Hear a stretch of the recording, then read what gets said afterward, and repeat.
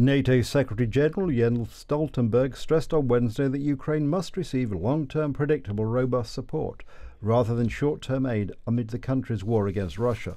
Stoltenberg's comments came as foreign ministers gathered for two days in Brussels to discuss the continuing war in Ukraine. Stoltenberg told journalists that Congress should overcome its differences and pass a supplemental spending bill, which includes roughly $60 billion in military aid for Ukraine, saying that continued delay has consequences on the battlefield.